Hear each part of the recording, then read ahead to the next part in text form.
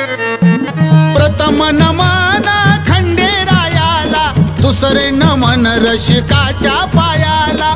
वाघ्या मुरळी आली गुण गायाला बेल भंडारा चरणी वायाला. मारतंड भैरवाची न कथा ऐकावी देवाची कथा ऐकावी देवाची न माझ्या खंडोबाराया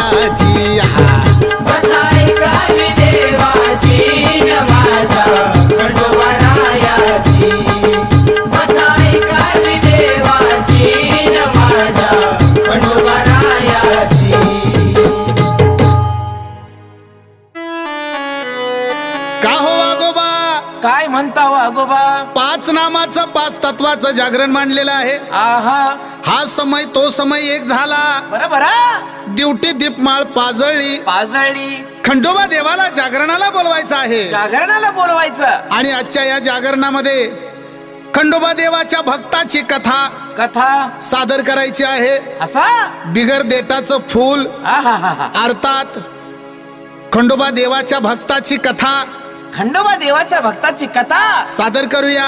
ती कशी आहे? ऐकूया.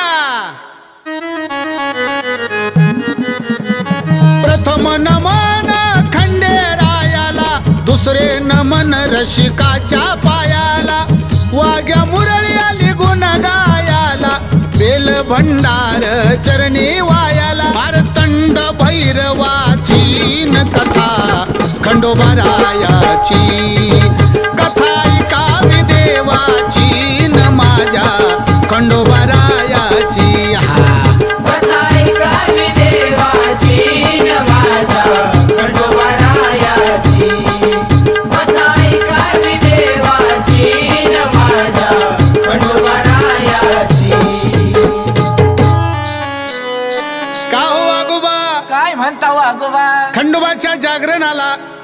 सर्व गाव जमा झालेला आहे. जमा झालेला आहे. कार्य मालकानं खंडोबा देवाच्या भक्ताची कथा सांगितलेली आहे. सांगितलेली आहे. आणि ती आता आपल्याला सादर करायची आहे. तर करूया खंडोबा देवाचं नमन झालेलं आहे. नमन झालेलं आहे. रशिक मायबापाच्या चरणाचं नमन झालेलं आहे. हा आणि या ठिकाणी वाघ्या मुरळी आलेली आहे. आलेली आहे. बेल भंडार वाहून खंडोबा देवाच्या कथेला सुरुवात झालेली आहे. कथेला सुरुवात तरी कशी आहे? ऐकूया.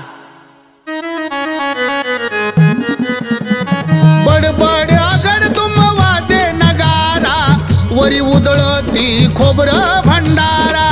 येळकोटान घुमला परिसर सारा महारतीला वाजल्या बारा. होईल सोडवण जीवाची न माझ्या खंडोबा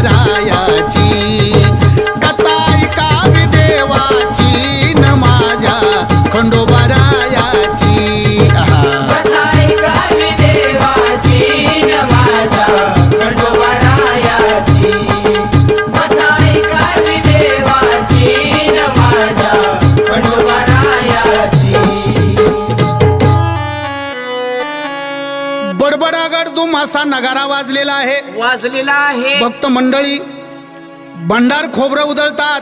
हा आणि येळकोटानं परिसर धुमधुमून गेलेला आहे. बरोबर आहे. आणि महाआरतीला बारा वाजले आहेत. आणि म्हणून या खंडोबाच्या भक्ताची कथा जीवाची सोडवण करणारी आहे. म्हणून या कथेला सुरुवात झालेली आहे. ती कशी? ऐकूया.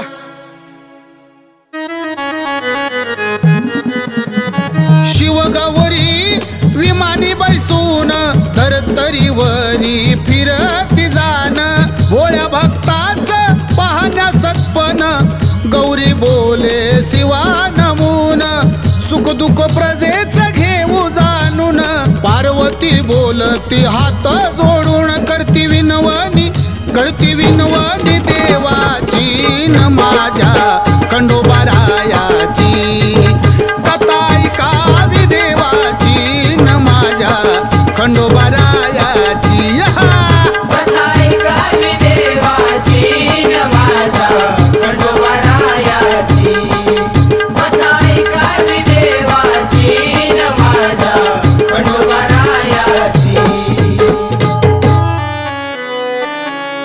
आहा. शिवगौरी विमानी बसून बसून. धर्तरीवर फिरू लागली. फिरू लागली. भोळ्या भक्ताचं सत्पन पाहण्यासाठी पाहण्यासाठी.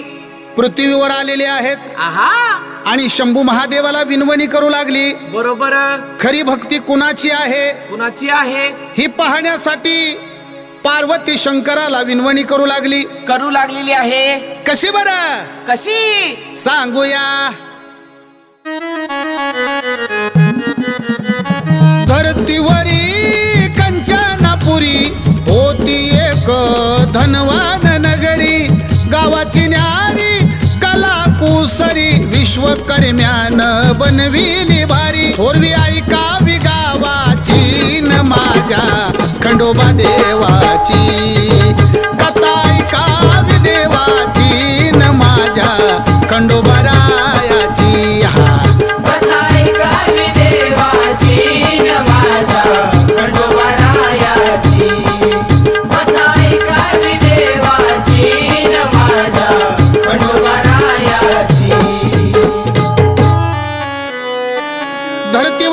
कंचनापुरी नावाची नगरी नगरी धनवान होती.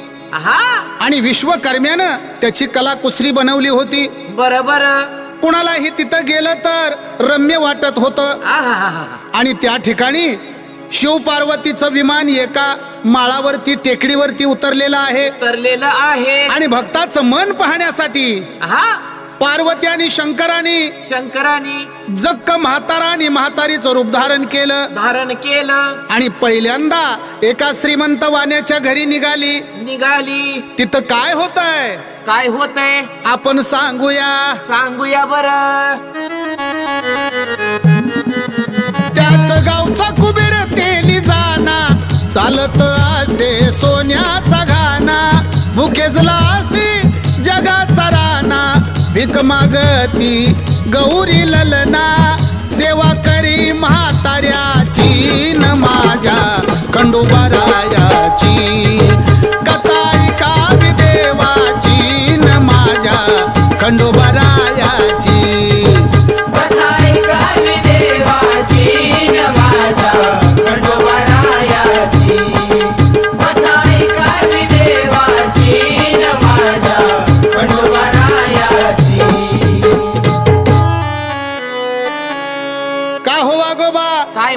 वागोबा त्या गावचा एक कुबेर तेली होता. तेली होता. तो इतका श्रीमंत होता आहा! की त्याच्याकडे सोन्याचा घाना असायचा. बरोबर. आणि त्याच्या दारामध्ये पार्वती आणि शंकर हे दोन म्हातारा म्हातारी म्हातारा न म्हातारी. भीक मागायसाठी गेलेले आहेत. असा? चक्रपाणी हा जगाचा राजा आहे. पण भक्ताला लाघव दाखवण्यासाठी दाखवण्यासाठी म्हाता म्हातारीचं रूप घेतलं. असा? आणि त्याच्या दारात गेली. दारात गेली. ती म्हणती माझा म्हातारा भुकेजला. माझ्या म्हाताऱ्याला भाकरी द्या. बरोबर तिथं काय घडलं? काय घडलं? आपण सांगूया. सांगितलं पाहिजे.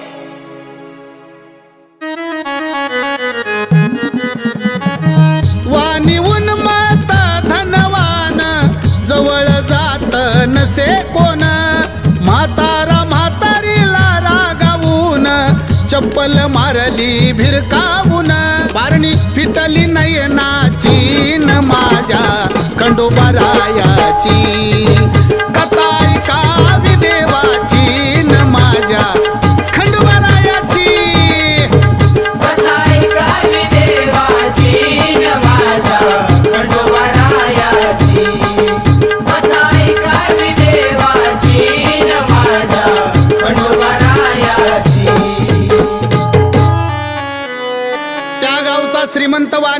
श्रीमंत वाणी तिथं कोणीही जात नव्हतं. नव्हता?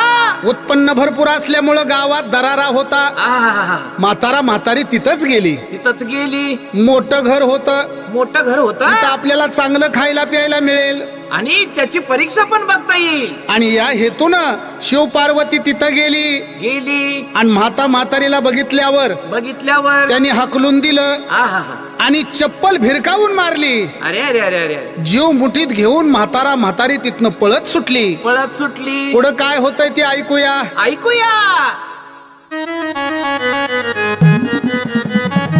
त्याच गावी अनंत नामक राहतो एक गरीब फार. सोनवंती पतिव्रता नार तयाची अस्तुरी सुंदर. अठरा विश्व दोघाचा एक विचार. असत्य भाषण कदापि नव्हते. विश्वास होता एकमेकावर. गाता दोघाच्या दुःखाची न माझ्या. खंडोबाधाया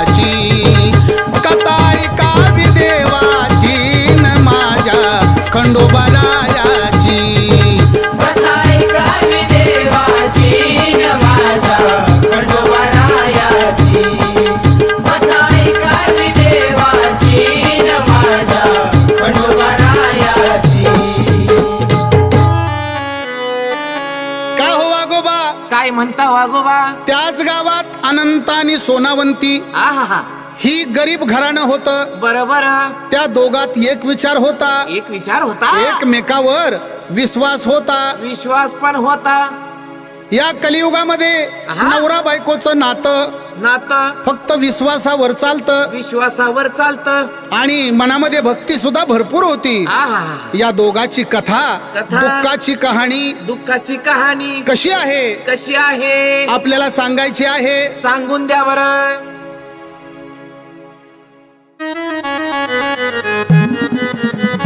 गरिबीची व्यथा सांगू लागली.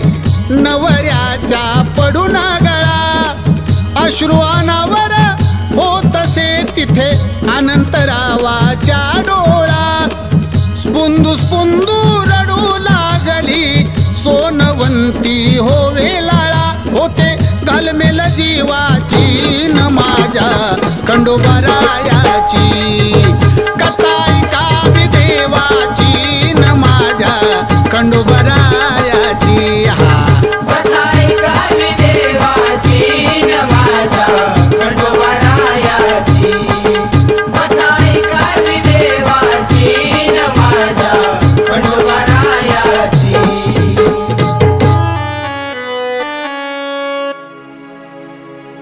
गरिबीची व्यथा गरिबीची व्यथा. आपल्या नवऱ्याला सांगू लागली आहे. आहा. आणि ही सोनवंती सोनवंती? नवऱ्याच्या गळ्यात पडून रडत आहे. रडत आहे. आपली गरिबी कधी संपेल? कधी संपेल? पोटभर अन्न खायला कधी मिळेल? कधी मिळेल? आणि रडत असताना रडत असताना? अनंतराव समजावून सांगू लागलेला आहे. समजावून सांगू लागलेले आहे. अगं कधीतरी देव आपल्याकडे डोळा उघडून बघेल. अगदी बरोबर आहे. तू काही टेन्शन घेऊ नको. आहा. नाराज होऊ नको. नाराज होऊ नको. आपण त्या देवाची भक्ती सोडायची नाही. आपण खंडेरायाची भक्ती करतो आहोत.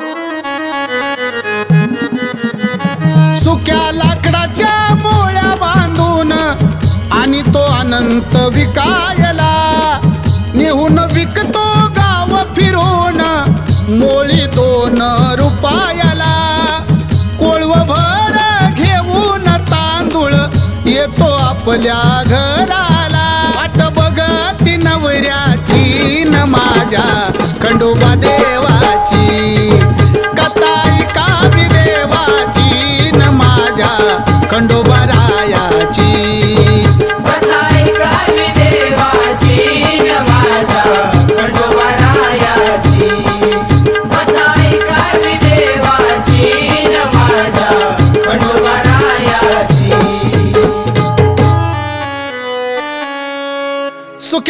लाकडाच्या मोळ्या बांधून मोळ्या बांधून.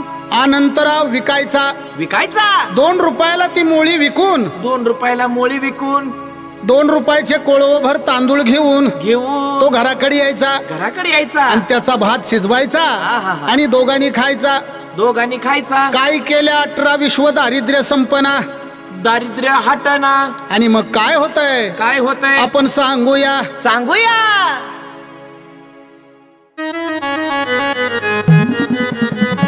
सुखी लाकडं मिळाली नाही म्हणून रडू लागला धाई धाई.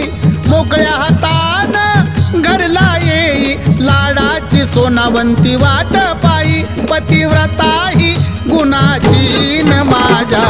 खंडोबारायाची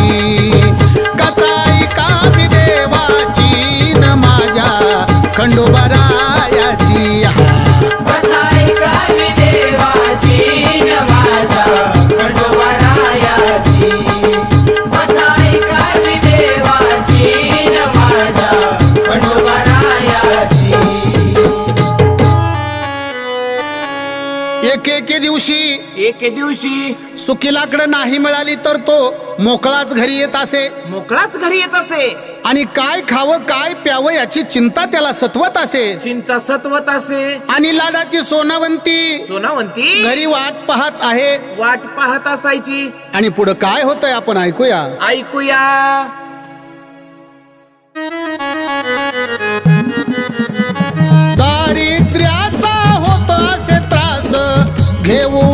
तो गळफास घरात नाही अन्नाचा घास. धरीला रविवार उपास. मलू देवाच्या सत्वाची न माझ्या खंडोबारायाची.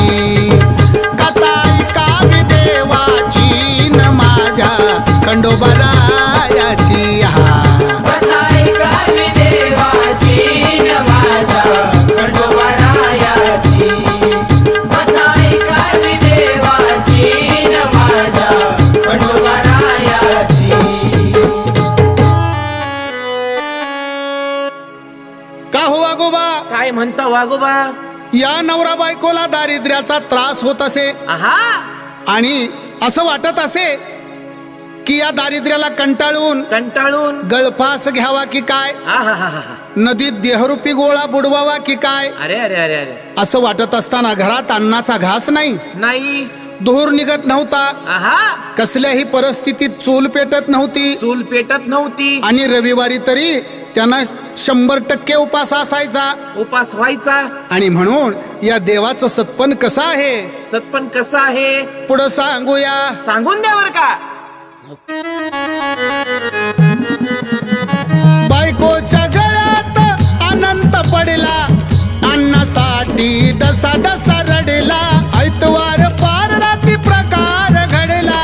रडण्याचा आवाज कानी पडेल सत्पन पाहण्याची न माझ्या खंडोबारा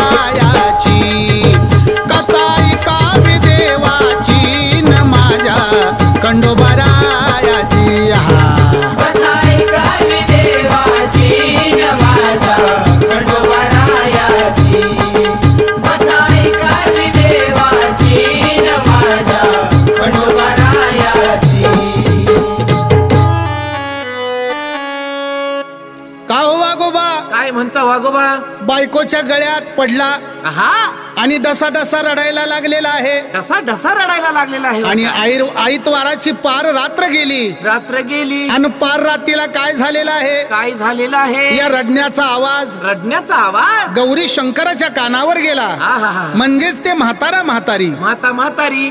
आणि त्यांनी ठरवलं काय ठरवलं? आपण जावं जावं? आणि या भोळ्या भक्ताचं सत्पन पाहावं. सत्पन पहावं. पण म्हातारा म्हातारी. माता म्हातारी. त्याच्या घरी येऊ लागले. येऊ लागले. तो प्रकार कसा? कसा? पुढं काय घडलं? सांगितलं पाहिजे बर का? सांगूया. म्हातारा म्हातारी निघून आली. निघून आली गरीबाच्या दारी. सडा सारवण टाकीत होती. टाकीत होती सोनवंती दारी. म्हातारा म्हातारी येऊन बसली येऊन बसली वट्यावरी. सोनवंती एकटीच होती घरी पती नव्हता हो बरोबरी. कसोटी सत्वाची न माझ्या खंडोबारायाची.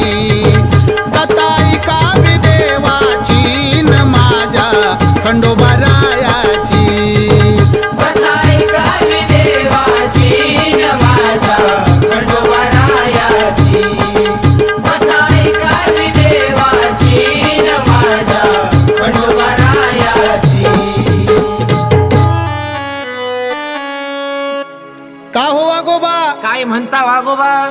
शिवशंकर रूपी म्हातारा म्हातारी. म्हातारा न म्हातारी. त्या गरीबाच्या घरला आली. घरला आली? वट्यावर बसली. आहा त्यावेळेला सोनवंती. सोनवंती. सडा समर्जन करत होती. करत होती. रांगोळ्या काढत होती. रांगोळी काढत होती. नवरा घरी नव्हता. नव्हता? मोळी आणायला गेला होता. आहा आणि हे दोघं दोघ? वट्यावर बसली. बसली. आणि सांगू लागली. काय सांगू लागली? म्हातारी म्हणती म्हातारी काय म्हणती? बाई ग आहा. माझ्या नवऱ्याला भूक लागली आहे. आहा.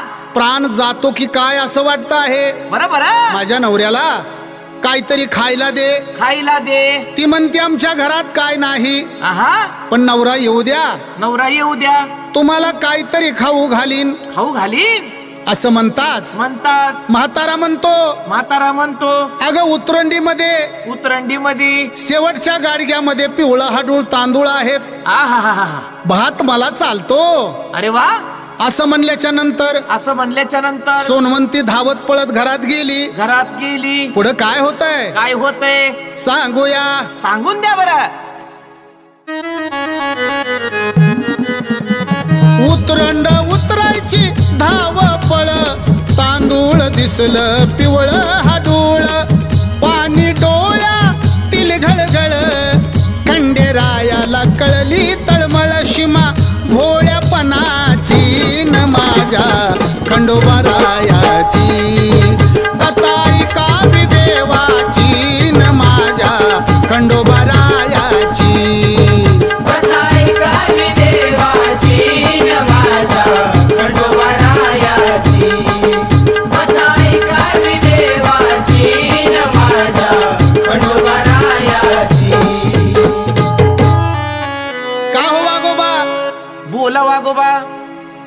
सोनवंती घरात गेली. सोनवंती घरात गेली. अगबाई म्हणली मी कधी सुद्धा तांदूळ ठेवले नाहीत. बरोबर आहे. आणि हा म्हातारा म्हणतो की तांदूळ आहेत. आहा. खात्री जमा करून घ्यावी. बरोबर आहे. म्हणून गेली. गेली. पाहू लागली तर पिवळा हाडूळ तांदूळ होत. आहा आणि तिच्या डोळ्यात पाणी घळघळ येऊ लागलं. डोळ्यात पाणी आलं बरं का? देवा म्हणली सत्पंडला राखलंच रे बाबा म्हणले माझं. अरे वा. आणि मग तिनं भात बनवायला सुरुवात केली. भात शिजवायला सुरुवात केली. भात शिजून तयार झाला. भात शिजून तयार झाला. तो कसा बरं? कसा? सांगूया.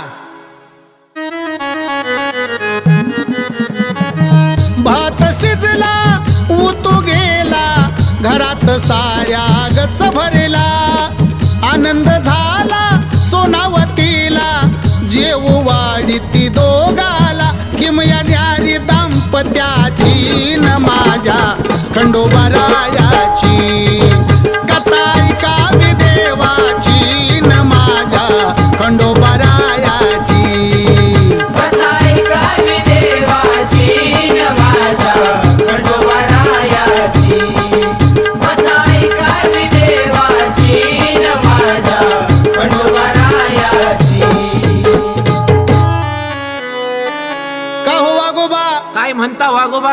शिजला. भात शिजला. उतो गेला. तू गेला. सगळ्या घरात भातच भात झाला. अरे अरे अरे अरे अरे. जिकडं तिकडं भात दिसू लागला. आनंदी आनंद झाला. आणि सोनावंती दोघाला जीव वाढायला लागली. जीव वाढायला लागली बरं का? पुढं काय झालं? काय झालं? सांगूया. सांगून द्या. सकाळीच्या पहिल्या प्रहरी भात केळीच्या पानावरी अवंतीत चकली अंतरी. भांड घेऊन गेली शेजारी. दूध नाही मिळालं आली माघारी. वांजुटी गाय होती दारी. गावरान दूध लागत भारी. खुन सांगितली महत्वाची न माझ्या खंडोबारायाची. कथा कावी देवाची न माझ्या खंडोबारायाची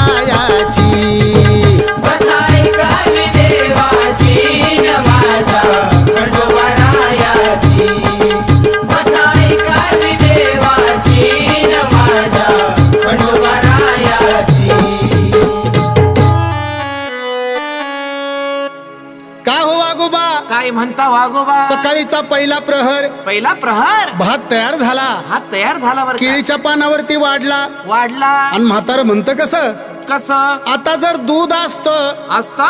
तर भात चांगला लागला असता. आहाहाहा. आणि म्हणून म्हणून भांड घेऊन भांड घेऊन सोनवंती शेजाऱ्याकडे गेली. गेली बर का? पहिलंच न मिळाल्यामुळं हा पहिलं दिलेलं न मिळाल्यामुळं न मिळाल्यामुळं? तिला काहीच कुणी दिलं नाही. कुणी काय देईना. महागारी आली. माघारी आली. त्यावेळेला म्हातारा म्हणतो म्हणतो दारात तुझ्या कपिली गाय आहे. आहा? तिचं दूध काढून वाढ मला. आ? असं म्हटल्यावर असं म्हटल्यावर सोनवंतीला हसू आलं. हसू आलं. गेले बारा वर्ष या गाईला वासरू झालं नाही. वासरू झालेलं ही नाही दूध कशी देणार? अगदी बरोबर आहे बरं का. आणि त्यावेळेला म्हातारा म्हणतो काय म्हणतो? अगं तुझ्या देवाचं नाव घे. देवाचं नाव घे. आणि हा बेल भंडार तिच्या अंगावरती टाक. टाक. बेल भंडारा अंगावर टाकला. आहा. गाईच्या कपाळाला लावला. कपाळाला आणि लावला मग काय झालं? काय झालं? सांगूया. सांगून द्या. धनखंड्या म्हातारा सतपन पाहतो. मदाल सामनी हसे. मागल ते भक्ताला देतो. स्वरूपाच भान नसे. छळवणूक क्षणाची न माझ्या खंडोबा रायाची.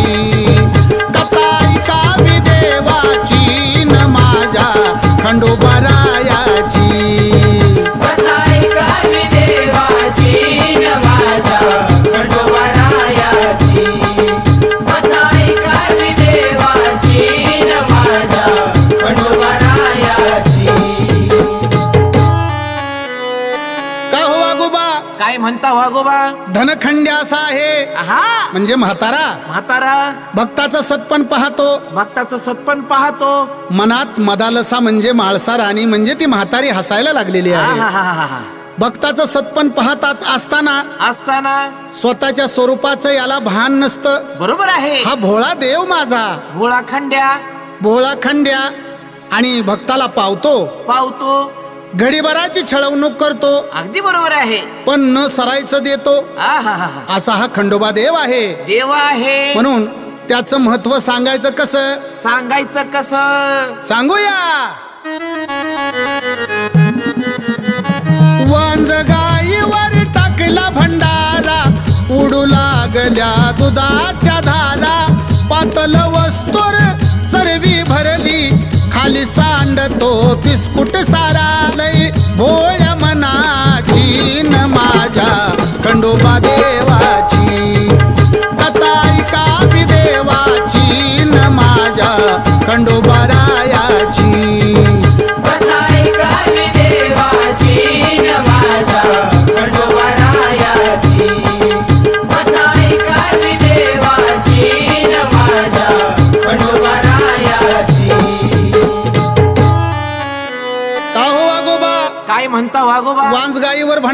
टाकला. टाकला. आणि अचानक तिला पाना फुटला. पाना फुटला बर. डोळ्याचं पातल वस्तूर चरवी भरली. असा? आणि खाली फिसकूट सांडू लागला. या भोळ्या देवाची करणी. भोळ्या देवाची करणी. अशी आहे. आणि त्याची प्रचिती ह्या सोनवंतीला आली. आली बर का? आणि पुढे काय होतंय? काय होत? सांगूया. सांगून द्या. भात केळीच्या वांज गाईच दूध लई भारी. म्हातारा म्हातारी फुरक्या मारी. बसून जेवती गरीबाच्या दारी. परवा नाही कुणाची न माझ्या खंडोबा देवाची. कथा कावी देवाची न माझ्या खंडोबा राय.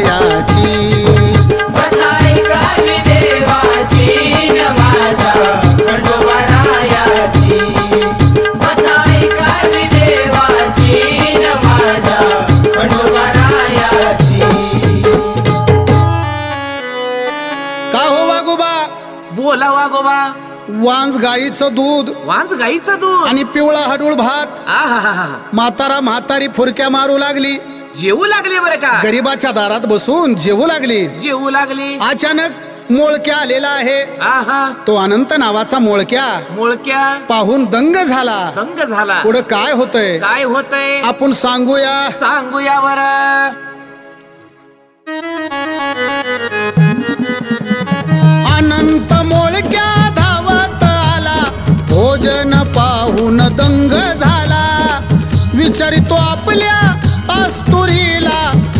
कोणाच्या घरी तो डाका टाकीला.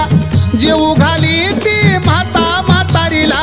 कुठून सांग भात आला. निंदा होईल जनाची न माझ्या खंडोबारायाची.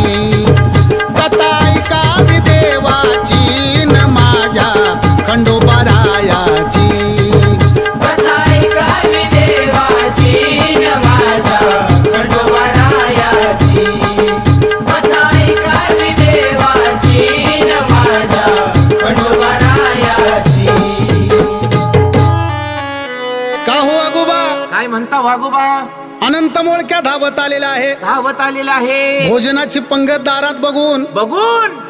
तो दंग झाला. दंग झाला. तळपायाच्या आग मस्तकाला गेली. त्याला राग आला बरं का? आणि अस्तुरीला काय म्हणत आहे? काय म्हणत अगं आहे ए सोनवंती. हा? कुणाच्या घरी डाका टाकला? डाका टाकला. कुणाचे तांदूळ चोरून आणलेस? चोरून आणले आणि त्याचा भात बनवून भात बनवून या म्हाता म्हातारीला खाऊ घालीत आहेस. खाऊ घालीत आहेस. अगं जग निंदा करील. जग निंदा करी चोरट्याची बायको म्हणतील. बरोबर आहे. ती धावत आली. धावत आली. पतीचे पाय धरले. पाय धरले. आणि म्हणाली काय म्हणाली? तुमच्या बायकोवर तुमचा विश्वास आहे की नाही. अहो मी चुकून असल्या गोष्टी करणार नाही. बरोबर आहे. माझ्यावरती विश्वास ठेवा. विश्वास ठेवा. पुढं काय होतंय? काय होतंय? आपण ऐकूया. ऐकूया. जेवून खाऊन तृप्त झाली. जोडी आशीर्वाद देऊ लागली. सुखाची चाहूल लागली. नवरा बायको आनंदली. कथा पुढील चौकाची न माझ्या खंडोबरायाची कथा ऐका देवाची न माझ्या खंडोबरा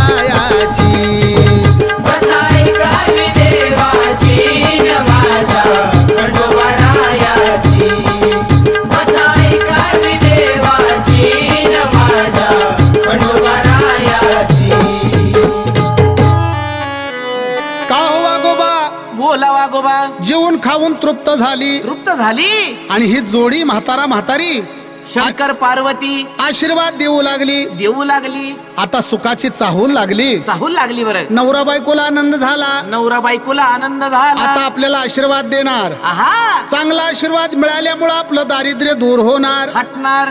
असं त्यांना वाटत होतं.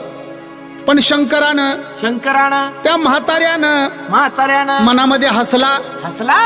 आणि अजूनही कसोटी पाहण्यासाठी आशीर्वाद दिला कसा? कसा? सांगूया. पहिल्या प्रहरी गाय मरल दुसऱ्या प्रहरी आई मरल तिसऱ्या प्रहरी बाप मरल चौथ्या प्रहरी बायको मरल. खंडोबारायाची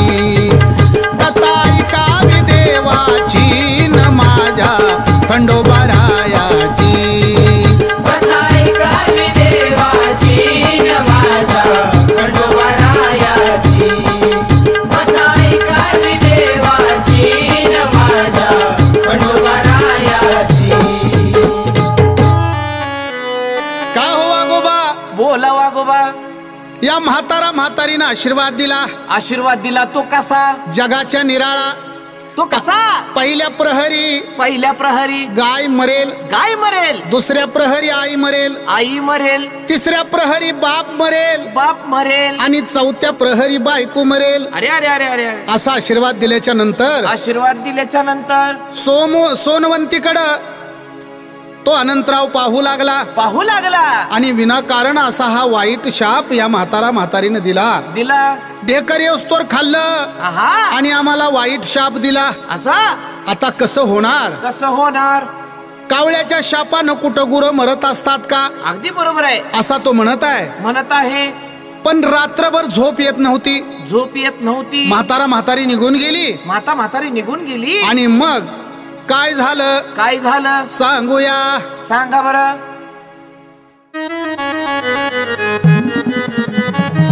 मेली आई मेला बाप मेली बायको गेली गाय. जीवाला ठेवून करू मी काय? भैरवी नदीत जीव देय. पाहतो परीक्षा भक्ताची न माझ्या खंडोबारायाची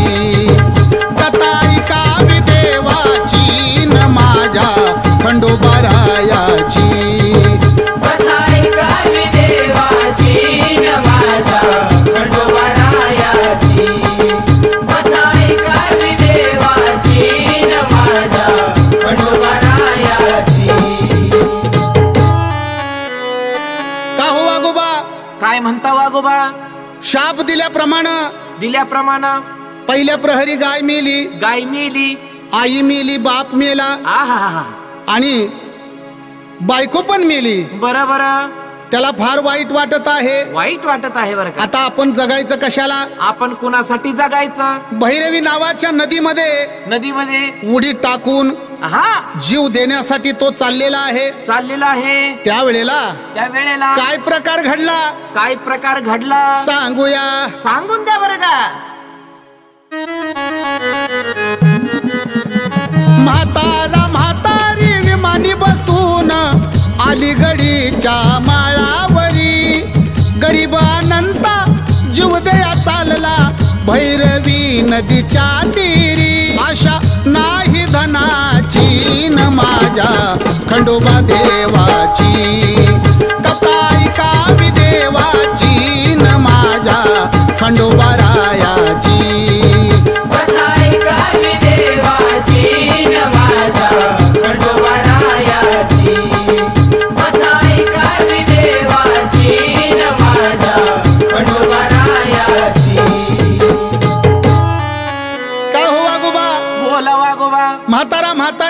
विमानी बसून विमानी बसून. गावाच्या बाजूला गंग साईटला हा.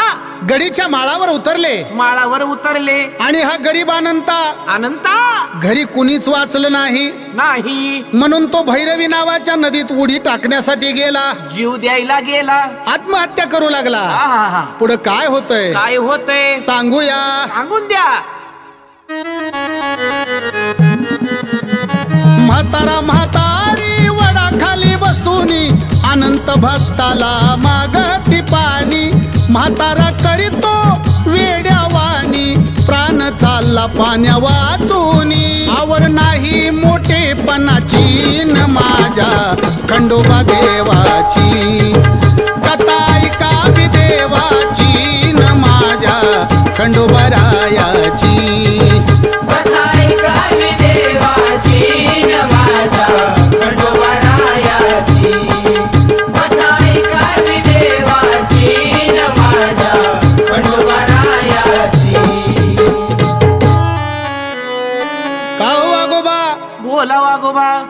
वडाच्या झाडाखाली. वडाच्या झाडाखाली? म्हातारा म्हातारी बसली.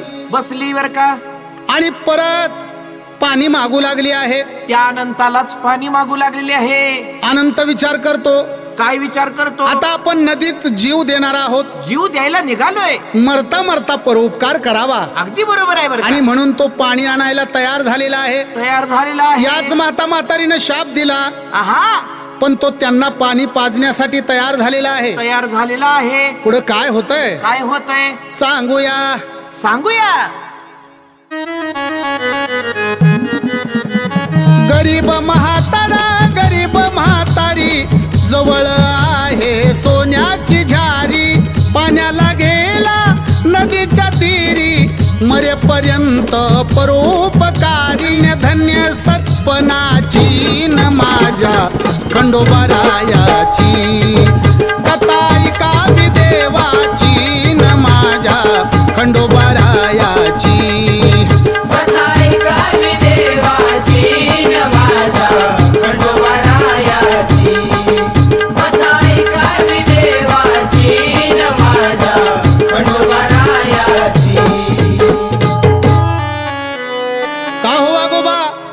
वागोबा गरीब म्हातारा म्हातारी म्हातारा न म्हातारी. वडाच्या झाडाखाली बसले आहेत. बसली असता?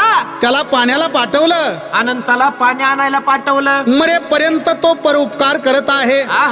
पुढे काय झालं? काय झालं? सांगूया. सांगून द्या बरं का.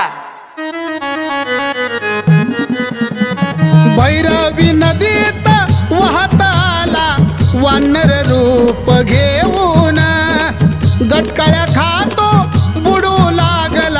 वाचवा म्हणे माझा प्राण करतो विनवणी अनंताची न माझ्या खंडोबारायाची.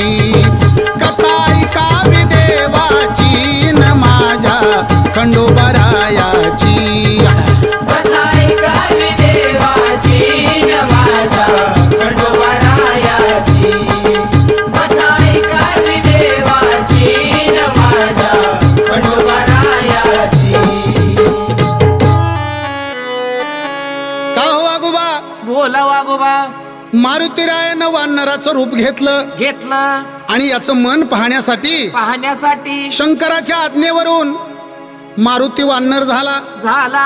आणि त्या भैरवी नदीत बुडत असताना आहा. माझा प्राण वाचवा बरा. म्हणून तो अनंताला विनंती करत आहे. करत आहे. पुढं काय होतंय? काय होत? आपण आज सांगूया. सांगून द्या बरं. वानर म्हणे वाचव मला बिगर देताच फुल दाविन तुला. झारी सोन्याची ठेवून बाजूला. वानराला वाचवू लागला. कथा उद्धारपणाची न माझ्या. खंडोबारायाची.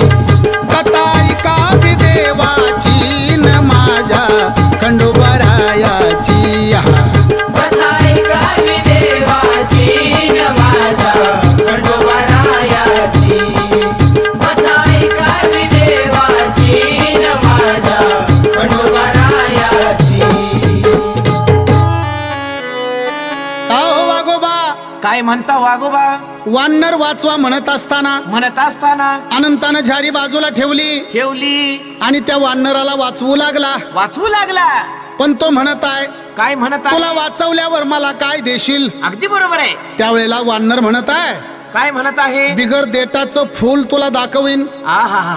असं म्हणल्यावर असं तो म्हणल्यावर विचार करत आहे. काय विचार करत आहे? झाडाशिवाय देठ नाही. अगदी बरोबर. आणि देटाशिवाय फूल नाही. बरोबर. आणि फुलाशिवाय फळ नाही. आहा. मग हे बिगर देटाचं फुल कसलं आहे? कसला आहे? ते आपल्याला बघायला मिळेल. बघायला मिळेल. म्हणून याला वाचवलं पाहिजे. अगदी बरोबर. आहे म्हणून त्याला वाचवलं.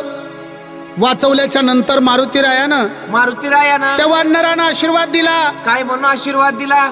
तुझं कोट कल्याण हो. आहा. अरे मरायचं आलोय म्हणला आता कशाचं कोट कल्याण होणार आहे? अगदी बरोबर आहे. आणि मारुती अदृश्य झाला. अदृश्य झाला बरं. पुढे काय होतंय? काय होतंय? ऐकूया. ऐकूया. दुसऱ्या वेळेला आला नागोबा तिसऱ्या वेळेला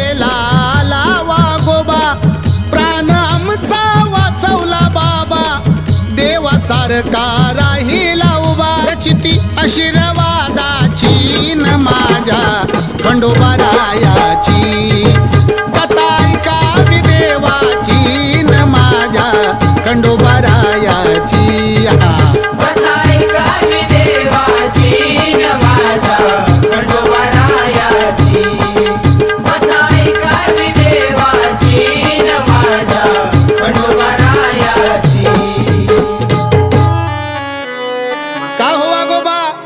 म्हणता वागोबा वानराला वाचवल्यावर वानराला वाचवल्यानंतर नाग भुजंग वाहत आला. आहा. त्यालाही वाचवलं. त्यालाही वाचवलं परत? वाघ वाहत आला. वाघ पण वाहत आला. त्यालाही वाचवलं. त्याला पण वाचवलं. प्राण वाचल्यामुळं वाचल्यामुळं त्यांनी आशीर्वाद दिला. काय म्हणून आशीर्वाद दिला? जिथं तुला अडचण येईल अडचण येईल. त्यावेळेला आम्हाला हाक मार. हा आम्ही तुझ्या संकटाला उभा राहू.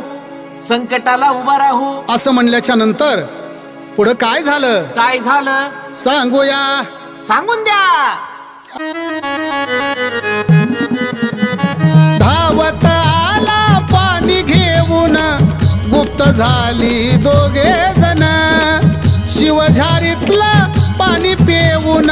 वडाच्या छायेत बसला जाऊन. गर्देटाच्या फुलाची न कथा.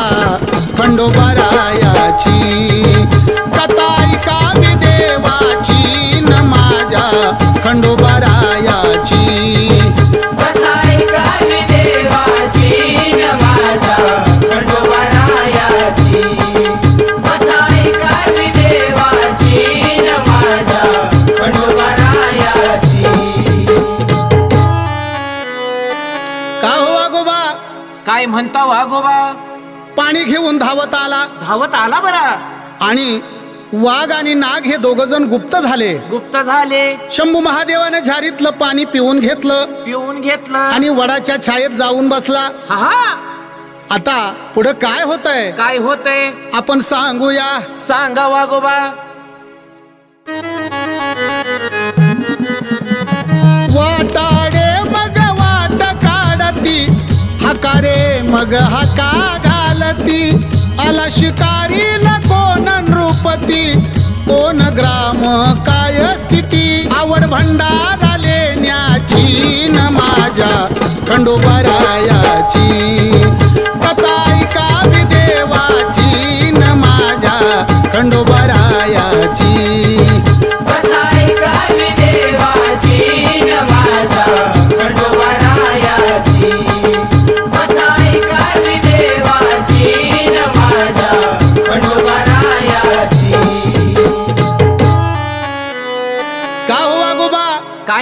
वागोबा वाटाडे वाट काढत होती. काढत होती. हाकारे हाका घालत होती. आहा नगारा वाजत होता हलगी वाजत होती. असा? कुठला तरी राजा शिकारीला आला होता. आला होता. कोण त्याचं गाव? आहा. काय त्याचं नाव? असा? माहीत नव्हतं. माहीत नव्हतं. पण तो राजा शिकारीला आला. असा? आणि इतक्यात काय झालं? काय झालं? सांगूया. सांगून द्या वागोबा जरा बसून बघतो प्रकार सारा. घोड्यावरन राजा पाडीला त्याला फाडीला टरा टरा आवड बेल दवण्याची न माझ्या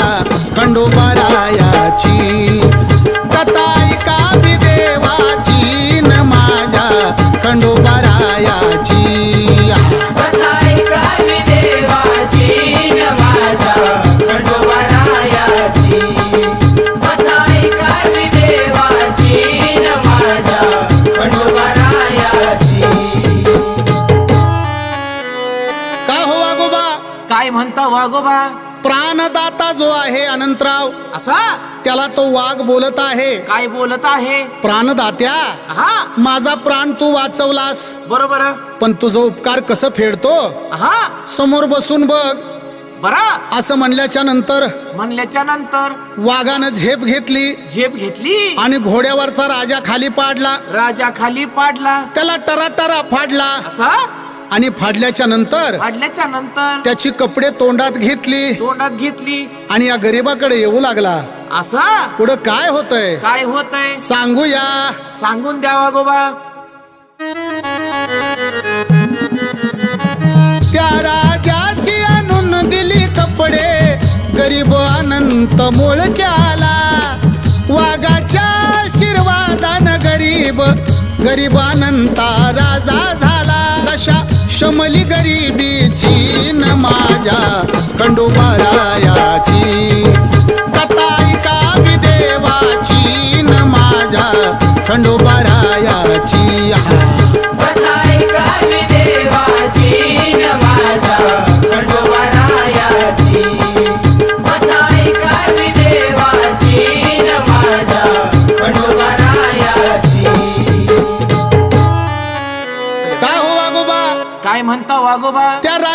कपडे राजाची कपडे गरिबानंता मोळक्याला आणून दिली. त्या वाघानं त्या गरीब अनंताला आणून दिली बरं का? आणि वाघाच्या आशीर्वादाने हा!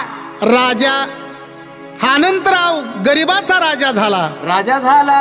राजा झाला थरथर कापू लागला. थरथर कापू लागला बरं. त्या वाघाला म्हणतो अरे तिथली लोक मला वाचू देतील का? अगदी बरोबर आहे. गादीवर जाऊन बसल्यावर बसल्यावर आमच्या राजाचा प्राण घेतला म्हणून मला त्रास देतील. अगदी बरोबर आहे. तेव्हा तो वाघ सांगत आहे असं काही होणार नाही. असं काही होणार नाही. तू तिकडे जा. जा. असं म्हणता. असं म्हणतात. पुढं काय होतंय? काय होत? सांगूया. सांगून द्या वागोबा सैनिकांनी कैद करून नेले.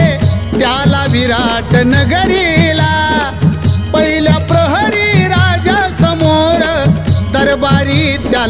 त्याला केला किमया हुकुमशाहीची न माझ्या खंडोबा देवाची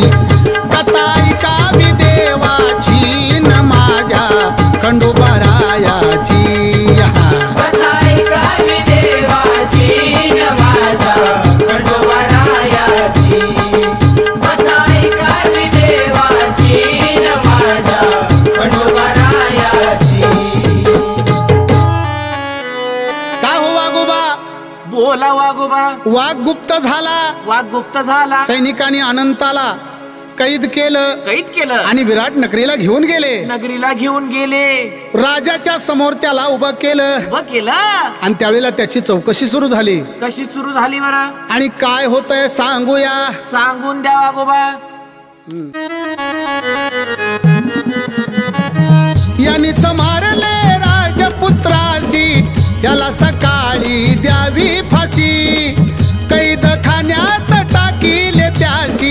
सत्व परीक्षा अशी कशी न्यारी? गती दैवाची न माझ्या खंडोबा देवाची.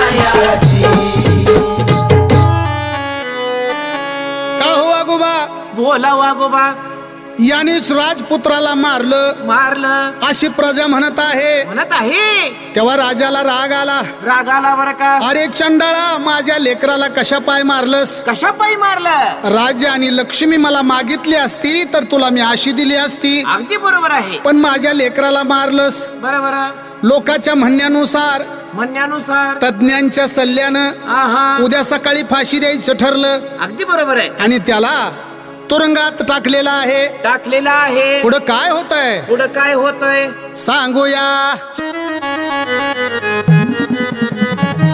कैद झाली तुरंगी डांबला. भुजंगाची आठवण झाली त्याला. हंबरडा फोडून रडू लागला. हक मारितो भुजंगाला. झाली आठवण वचनाची न माझ्या खंडोबारायाची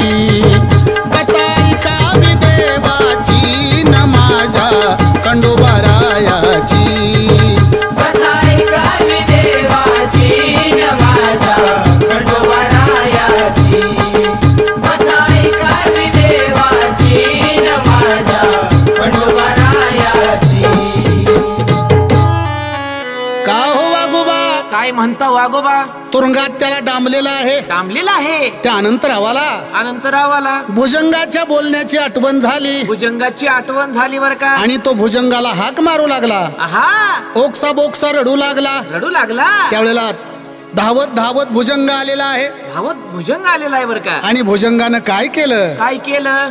भुजंग त्या अनंताला बोलू लागलेला आहे. बोलू लागलेला आहे. तुला सकाळी सातला फाशी होणार आहे. असा? त्याला मी उठूच देत नाही म्हणला राजाला. आहा. आणि मग काय केलं? काय केलं? सांगूया. सांगून द्या वागोबा सकाळी सातला फाशी आहे तुझला. उठू नाही देणार मी राजाला. दंश केला त्यानं राजाला. राजागत प्राण झाला. परत फेड उपकाराची न माझ्या खंडोबा देवाची.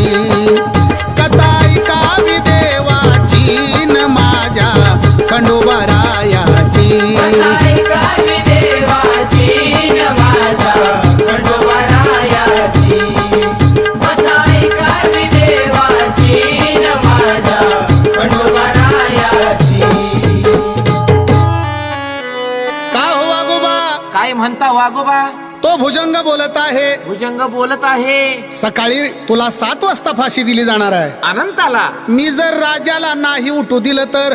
आहा? कशी फाशी देतील? अगदी बरोबर आहे. आणि भुजंगानं राजाला दंश केला? दंश केला. राजा गतप्राण झाला. असा?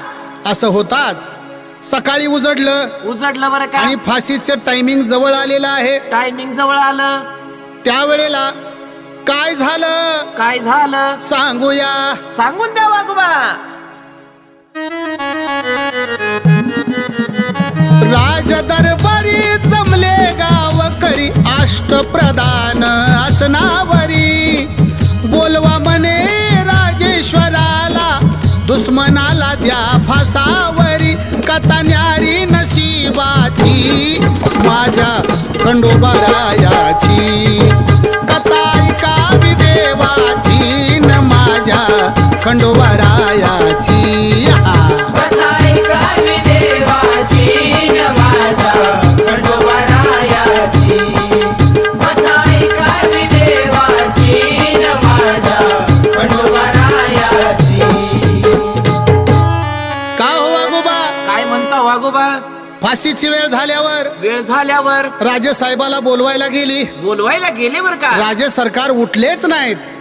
असं? कारण का? का? सर्पदंश झाला होता. असं? आता करायचं काय? काय करायचं? त्यावेळेला अनंत म्हणतो काय म्हणतो? तुमच्या राजाला जर मी उठवलं तर? उठवलं तर? मला काय देणार? म्हणल्यानंतर? त्यावेळेला दरबारातली लोक दंग झाली. दंग झाली? आणि राजाला कसा उठवतो? हे पाहण्यासाठी सज्ज झालेली आहेत. आणि मग पुढे काय झालं? सांगूया. बेल भंडारा हाती धरलेला उठविन म्हणे मी राजाला. अर्धे राज्य अर्धी लक्ष्मी राजाची मुलगी द्यावी मला. होती पूर्तता वचनाची न माझ्या कंडोबारायाची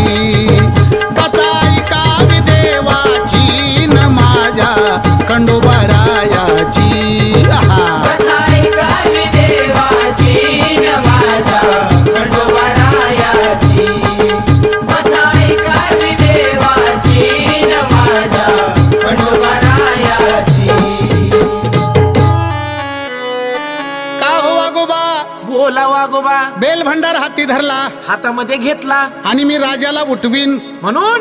अशी शपथ घेतली. असा? पण त्या बदल्यात मला अर्ध राज्य अर्धी लक्ष्मी आणि राजाची मुलगी द्यावी लागेल. असं त्यांनी पण ठेवला बर का? आणि त्यावेळेला करत्या लोकांनी वचन दिलं. वचन दिलं. आणि शंभर मरावे पण शंभराचा पालन करता जगावा. आ हा हा हा. राजा जगला पाहिजे. अगदी बरोबर आणि आहे म्हणून म्हणून? राजाला उठवू लागलेले आहेत. तो कसा बरं प्रकार? तो प्रकार तो कसा? सांगूया. सांगा वागोबा पाचरण केले त्याने भुजंगाला. भुजंगराज धावत आला.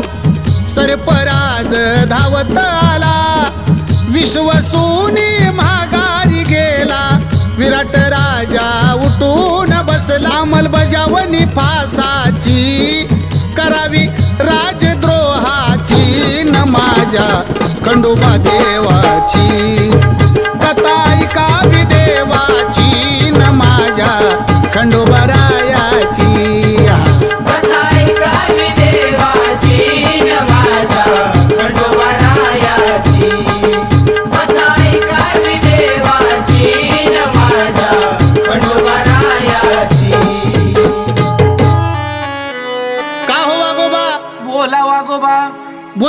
बोलावून घेतलेला आहे.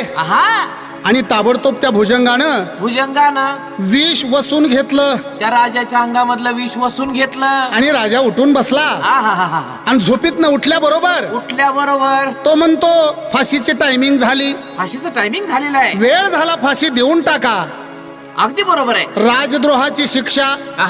असं म्हणल्याच्या नंतर. असं म्हणल्याच्या नंतर. प्रजेनं थांबवलं. प्रजेनं थांबवलं? मंत्रिमंडळानं थांबवलं. थांबवलं. आणि काय म्हणतात? काय म्हणतात? सांगूया. ह्याच पुण्यवान माणसान वाचविला राजे तुमचा प्राण. मिळाले तुम्हाला पुनर्जीवन. आम्ही सर्वांनी दिले वचन. तयारी लग्नाची न माझ्या खंडोबारायाची.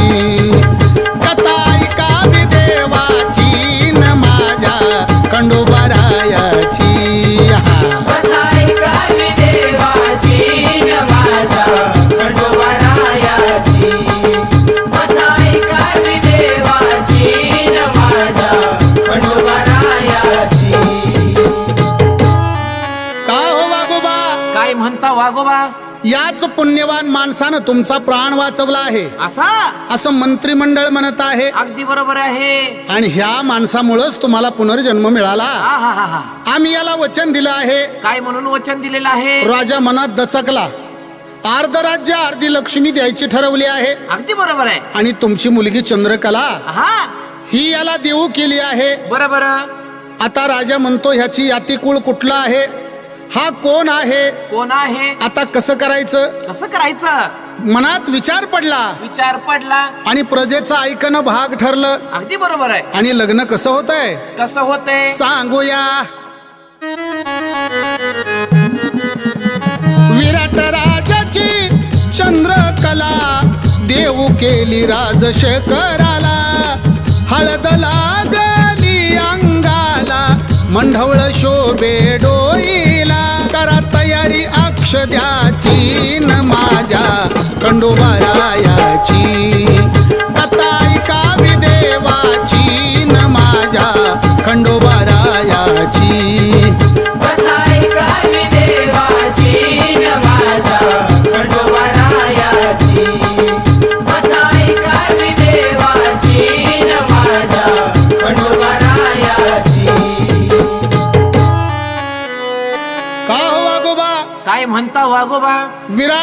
राजाची चंद्रकला. चंद्रकला. राजशेखराला देऊ केली. हा राजशेखर म्हणजे कोण? ही पहिला मुळी विके अनंता. आणि त्या अनंतरावाच नाव पुढे.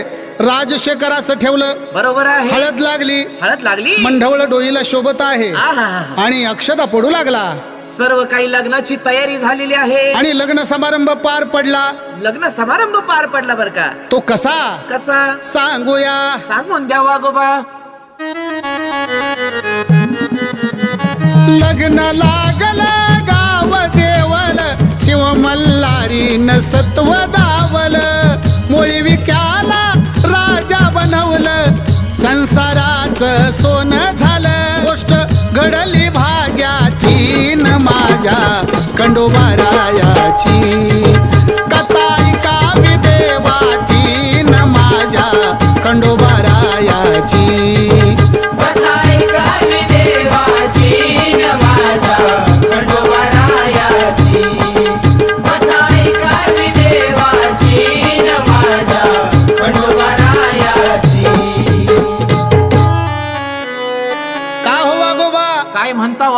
लग्न समारंभ झालं. झाला? गाव जेवला. गाव जेवला. आनंदी आनंद झाला. आहाहाहा. आणि मग? मग? चंद्रकलेबरोबर पानाचे विडे खात बसला होता. असं? आणि त्या राजशेखराला हा. त्या वानराची आठवण झाली. आठवण झाली. आणि त्यावेळेला त्या वेळेला त्याचा धावा केला. वानराचा धावा केला. आणि त्या वानराला बोलावून घेतलं. बोलावून घेतलं. का रे लबाडा? मला तू बिगर देटाचं फूल दाखवणार होतास. बरोबर आणि नादी लावून निघून गेलास. तर आता मला फूल बघायचं आहे. फुल बघायचं आहे. आता राजगादी मिळाली होती. आहा. सुंदर अशी मुलगी मिळाली होती. मुलगी मिळाली होती. वैभव आलं होतं. आहा दारिद्र्याचं उच्चाटन झालं होतं. झालं होत. पण माणसाला लालसा बसू देत नाही. अगदी बरोबर आहे. आणि त्यांनी त्या वानराला विचारलं विचारलं आता मला बिगर देटाचं फूल दाखव. दाखव. आणि मग काय झालं? काय झालं? सांगूया. सांगा वागोबा वानराच्या वचनाची आठवण झाली त्याला. धावा करीता हनुमंताचा वानर राज धावत आला. वाट धरली स्वर्गाची न माझ्या कंडोबार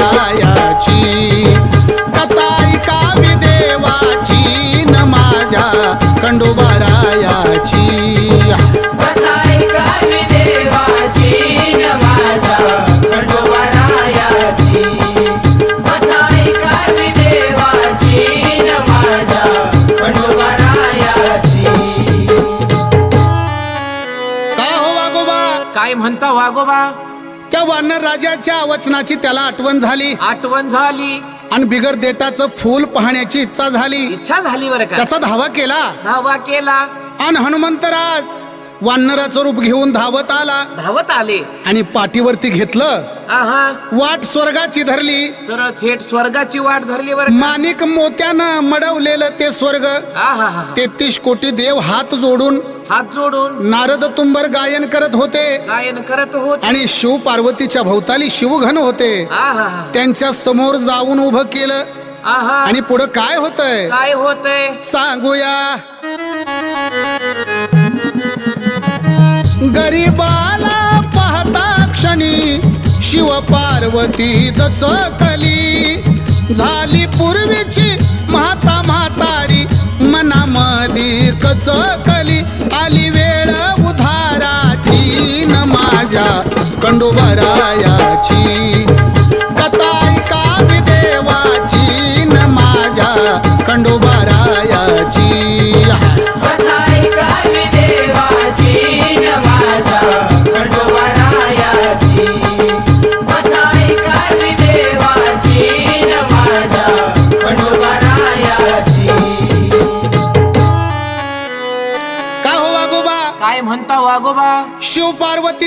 आलेल्या गरीबाला पाहिलं. पाहिलं बर का? आणि मनात दचकले. दचकले. बापरे म्हणले इथपर्यंत आला. एवढं सगळं दिलं तरी आपली पाठ सोडत नाही. सोडत नाही. शिव पार्वती पूर्वीचे म्हातारे म्हातारा झाले. आहा.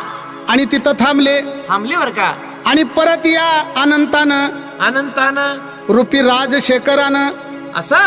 त्या म्हातारा म्हातारीला बघितला आणि तिथून पळ काढला. आहा. पळ काढल्याच्या नंतर म्हातारी म्हातारा म्हणत आहे काय म्हणत आहे? अरे वेड्या भक्ता आता पळून जाऊ नकोस. बरोबर. तुझ्या उद्धाराची वेळ आली आहे. वेळ आलेली आहे. तू धावत धावत जवळ ये. शंभू महादेवानी जवळ घेतलं. शंभू महादेवानी जवळ घेत त्याला पोटाशी धरलं. पोटाशी धरलं. असा तो भोळा महादेव. शंभू महादेव. पुढं काय होतंय? काय होतय? सांगूया. मूळ शंकर. होळी विक्याला घेतलं मांडीवर. स्वर्गाचं सुख तू भोग सत्वर. माझ्या जवळ रामासचार कोटी भरावी पुण्याची न माझ्या कंडोबरायाची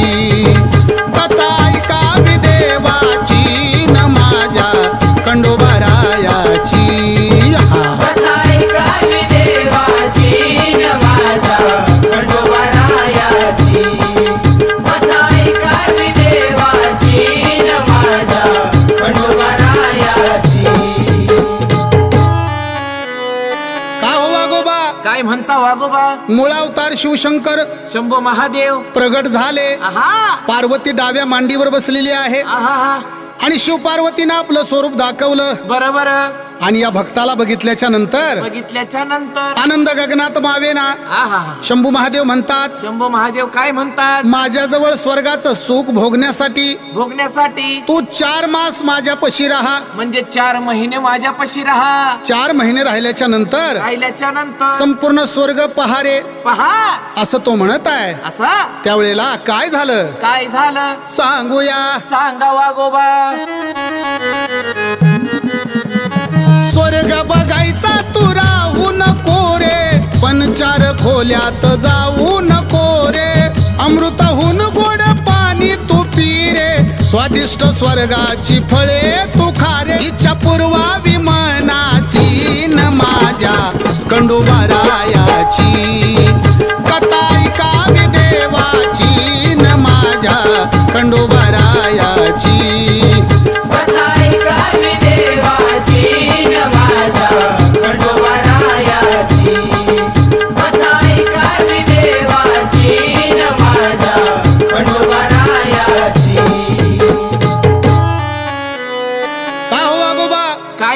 वागोबा शंभू महादेव त्या राजशेखराला म्हणतात काय म्हणतात? स्वर्ग बघायचा तू राहू नको. राहू नको. पण पलीकडे चार खोल्या आहेत त्यात मात्र जाऊ नको. आहा! अमृतापेक्षा स्वर्गाचं गोड पाणी आहे. तू पी तू पी स्वादिष्ट स्वर्गाची फळं खा. फळ खा. चार महिने माझ्या जवळ राहा. राहा. आणि नंतर मृत्यू लोकात जा. पण त्या चार खोल्यामध्ये काही जाऊ नको. पण माणसाचं कसं आहे? कसं आहे? जिकडं नको म्हणेल तिकडं आधी जाणार. अगदी बरोबर आहे. माणूस लालसी आहे. आहा आणि म्हणून या राजशेखरानं काय केलं? काय केलं बरं? सांगूया. सांगून द्या वागोबा राजशेखर पहिल्या खोलीत गेला. आई होती सोन्याच्या पलंगाला. शिवदाशी होत्या हवा घालायला. दोघी तिघी होत्या पायचो पाहिला बाप जळती जन्माची न माझ्या खंडोबरायाची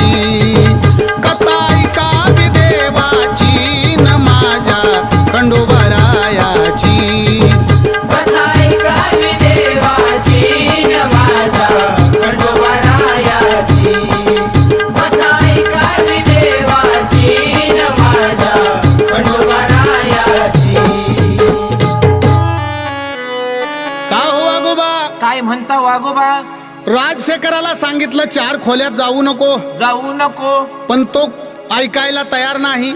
मग तो पहिल्या खोलीमध्ये गेला. पहिल्या खोलीत गेला सोन्याच्या पलंगावर आई झोपली होती. असा?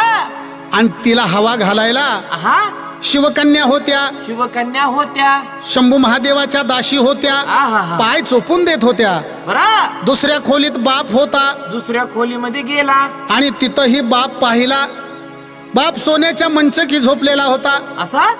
त्याचंही हातपाय चोपायला शिवगण होते. आहा तिसऱ्या खोलीमध्ये गेला. तिसऱ्या खोलीमध्ये गेला. तिसऱ्या खोलीत पट्टराणी होती. आहा. आणि तिला बघितल्यावर तिला बघितल्यावर डोळ्यातनं अश्रू वाहू लागलं. आहा कडकडून भेट घेतली. भेट घेतली बर का? भरजरी पोशाख अंगावर होता. होता. दागदागिने अंगावर होते. होते. आणि त्यावेळेला तो म्हणत आहे काय म्हणत आहे? तू किती गरिबीत दिवस काढले असं? पण आता मात्र सोन्या चांदीमध्ये खेळत आहेस. बरोबर आहे. त्याला आनंद झाला. झाला. आणि तेवढं बघितलं आणि तो चौथ्या खोलीकडे निघाला. चौथ्या खोलीकडे निघाला बरं. त्यावेळेला काय झालं? काय झालं? सांगूया. नको म्हणता चौथ्या खोलीत गेला. उघडावानी उलटा टांगलेला. उकळत तेल होत त्याच समायाला कडईत सोडायचा राहिला. हेड चालली पापाची न माझ्या कंडोबारायाची. कथा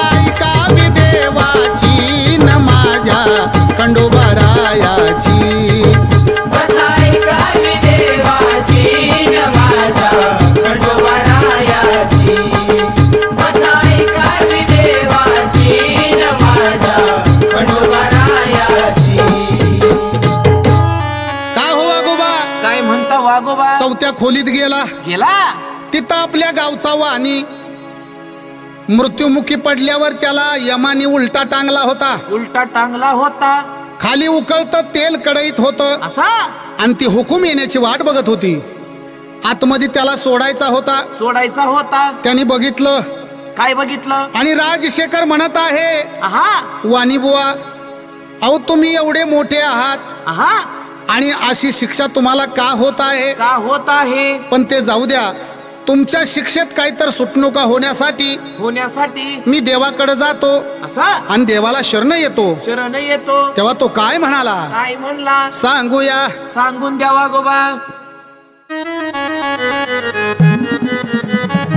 राजशेखर धावून आला. वाचवा मने गावच्या वाण्याला. विधात्याचे विधी विधान बदलता येणार नाही मला. फळे भोगतो या कर्माची न माझ्या खंडोबरायाची कथा कावी देवाची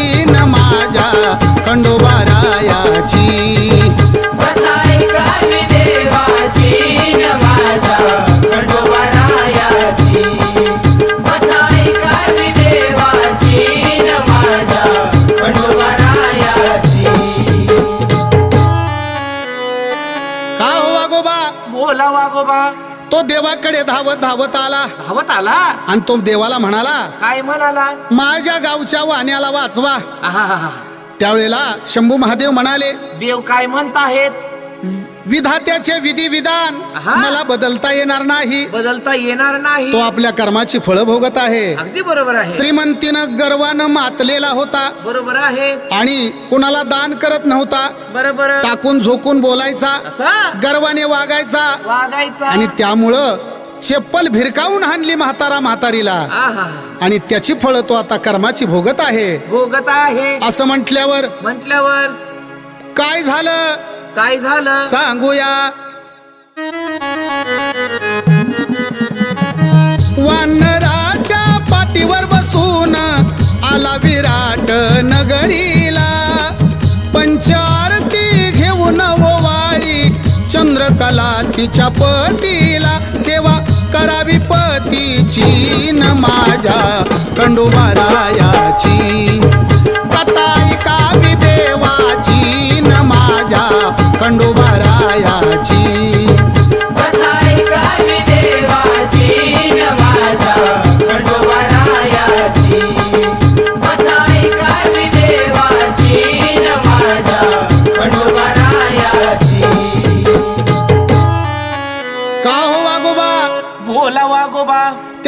राजशेखराला घेऊन राजशेखराला घेऊन मारुती रूपी वानर आहा. खाली आलेला आहे. नगरीमध्ये आलेला आहे. त्या विराट नगरीत आल्याच्यानंतर आल्याच्यानंतर त्याला सोडलं. सोडला. आणि तो निघून चालला. निघून चालला. त्या वानराच्या शेपटाला धरलं. धरलं बर का? आणि तो म्हणत आहे काय म्हणत आहे? तुम्हाला फसवायची कला चांगली जमत आहे. हा हा हा तुम्ही मला बिगर देटाचं फुल दावतो म्हणाला होता. असं? ते काय झालं? त्याचं काय झालं? आणि मग वानर काय म्हणत आहे? काय म्हणत आहे? अरे त्या स्वर्गालाच बिगर देटाचं फुल म्हणतात. असं म्हणून असं म्हणून? वानर अदृश्य झाला. अदृश्य झाला बरं. आणि हा संसारामध्ये गुंतला. गुंतला. खंडोबा देवाने त्याचं कोट कल्याण केलं. केलं. म्हणून कथेचा शेवट होत आहे. शेवट होत आहे. तो कशा प्रकारे? कशा प्रकारे? सांगूया. सांगून द्यावा गोबा. कथा लावली शेवटाला एखादा शब्द जरी चुकला माफ करावे पामराला. अशोक वागे कथा सांगायला कथा जीवा भावाची न माझ्या खंडोबारायाची. कथा